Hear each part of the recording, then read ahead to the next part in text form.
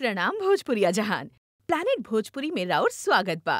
भोजपुरी दुनिया से जुड़ल सब खबर सबसे पहले पावे खातिर चैनल के सब्सक्राइब करी जा और घंटी के बटन दबाई जा लोग। बेस्ट कपल का अवार्ड मिला है मुझे और खेसारी जी को फ़िल्म मेहंदी लगा के रखना के लिए। और वो मेहंदी लगा के रखना तो मेरे लिए एक मेरी क्या बोलते हैं, एक ख़ास फ़िल्म होती है जो लाइफ की सो वो एक है, क्योंकि उसके लिए हमने काफ़ी अवार्ड्स जीते हैं। काफ़ी मतलब काफ़ी, पूरी टीम ने जीते हैं। दो दिन पहले हुआ था इवेंट तो वहाँ पे कम से कम बारह तेरह अवार्ड्स फ़िल्म मेहंदी लगा के रखना को मिले हैं। बहुत अच्छा फील हो रहा है। बेस्ट एक्ट्रेस बेस्ट जोड़ी हमेशा। और मैं हमेशा कोशिश करूँगी फुल मेहनत करूँगी कि हमेशा मैं ही लेके जाऊँ। हाँ हम लोगों ने एक्चुअली टाइटल वहीं से चुराया भी था। मेहंदी लगा के रखना डोली सजा के रखना। अ, बहुत अच्छा फ़िल्म है अ, और बहुत अच्छी वो सॉन्ग भी है। बहुत अच्छा सॉन्ग भी है और हम कहीं भी शादी में होते हैं, जाते हैं तो वो गाना ज़रूर बजता है मेहंदी लगा के रखना, क्योंकि हर फीमेल मेहंदी तो लगाती है उसी टाइटल को हमने चुरा लिया और आज हमने मेहंदी लगा के रखना बनाई and world wide success movie हुआ है और कई लोग कई लोग मतलब गुजरात में भी कई लोग हैं जो लोग नहीं देखते हैं मूवीज़ उन लोगों ने देखी है तो हमारे लिए उससे कोई अच्छी बात हो ही नहीं सकती। वो यूट्यूब पे भी सेवन करोड़ से ज़्यादा लोगों ने देख ली है, मेहंदी लगा के रखना। तो एक बहुत अच्छा रिस्पांस दिया पब्लिक ने और तब से हमें अभी तक लग गया कि मतलब इन लोग को कॉन्सेप्ट चाहिए, क्योंकि सब यहाँ पे पुराने जो भी लोग थे डायरेक्टर्स हो प्रोड्यूसर्स हो, सबके दिमाग में एक चीज़ कीड़ा घुस गया था कि आइटम सॉन्ग से ही फ़िल्में हम चला सकते हैं। गाने भर भर के डालोगे तो ही मूवी चल सकती है। सो so, मेहंदी लगा के रखना ने उन सारे कीड़ों मकोड़ों को बाहर फेंक दिया है एंड काफ़ी अच्छे अच्छे रिस्पॉन्स मिल रहे हैं मूवी को और काफ़ी अच्छे हम uh, लेके आ रहे हैं कॉन्सेप्ट जैसे मेहंदी लगा के रखना हुई फिर पटना से पाकिस्तान भी हुआ संघर्ष हुआ फिर दीवानापन भी अच्छा कॉन्सेप्ट था। एक मैं हीरोइन बनी थी उसमें और वो एक फ़ैन बने थे मेरे। और फिर मुकद्दर है जिसमें हम दोनों सिंगर बने हैं। सो so, हम हर हर मूवीज़ में हम अलग अलग रोल प्ले कर रहे हैं।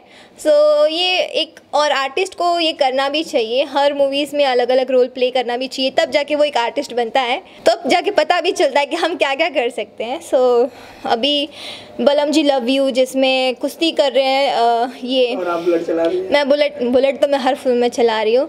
बट एक दबंगी कैरेक्टर है मेरा उसमें। बहुत अच्छी फ़िल्में आ रही है नागदेव। फ़र्स्ट टाइम नागिन बनी हूँ। अभी आ रही है छठ में। तो बस एंजॉय करिए और बहुत अच्छे अच्छे सॉन्ग्स आ रहे हैं। सो एंजॉय करिए।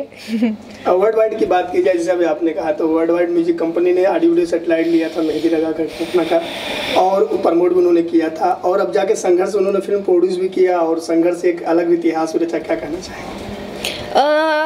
मेहंदी लगा के रखना, वहाँ पे गया सो ये हम मेरे बहुत अच्छे दोस्त हैं एंड हम बहुत मानते हैं सर को सो बहुत अच्छा फील हो रहा है बिकॉज़ वहाँ पे हमारी फ़िल्म जाती है तो एक ऐसा लगता है कि हमारे घर में फ़िल्म जा रही है, और मोस्ट ऑफ़ हमारी फ़िल्म ज़्यादातर वहीं से आती भी है सो बहुत अच्छा और प्राउड फील होता है, क्योंकि रत्नाकर सर हमेशा बहुत प्रमोट करते हैं हमारे हर फ़िल्म को एंड तो अभी तक जितने भी वहाँ पे हमारी फिल्म्स गई है तो काफ़ी वहाँ से बहुत अच्छा रिस्पांस मिला है और सर मेहनत भी बहुत करते हैं पूरी उनकी टीम बहुत मेहनत करती है और हर लोग देख पा रहे हैं।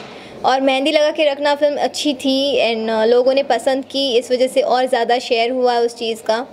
तो संघर्ष उन्होंने बनाई तो बनाई और इतना हिट हुई तो सर ने और भी दो तीन फ़िल्में बनाई है तो मैं तो हमेशा उनके अ, रहूँगी एंड आभारी रहूँगी कि उन्होंने मुझे इतना सपोर्ट किया एंड जैसे कि छलकता वहाँ पे ही था तो जो 200 मिलियन हुआ है तो बस यही कहूँगी ऑल द बेस्ट उनको भी ऑल द बेस्ट कहूँगी। आप बहुत सारी फ़िल्में बनाएँ और ऐसे ही हमेशा पहले तो सिर्फ़ म्यूज़िक कंपनी के ऑनर थे आज प्रोड्यूसर बन गए तो और बनाइए फ़िल्में सब। उन्होंने क्रिकेट टीम भी खरीद लिया है खरीद लिया?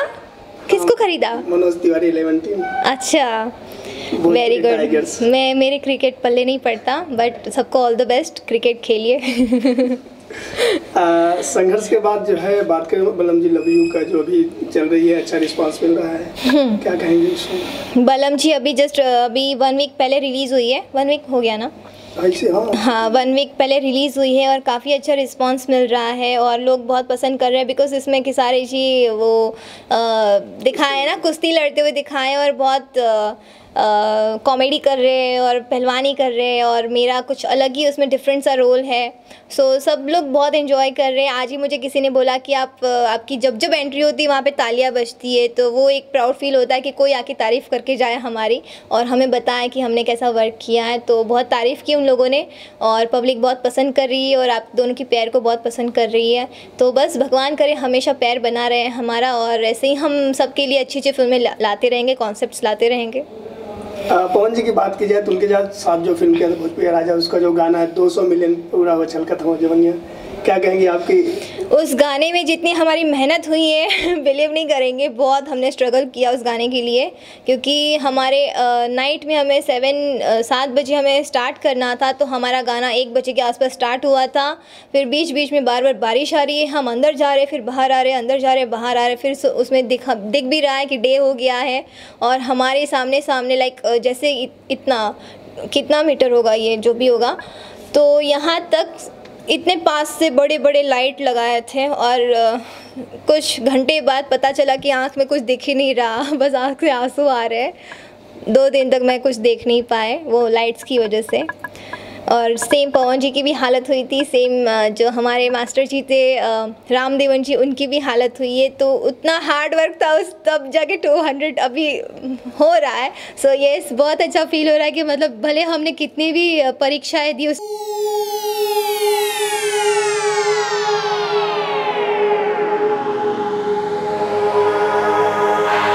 planet Bhojpuri.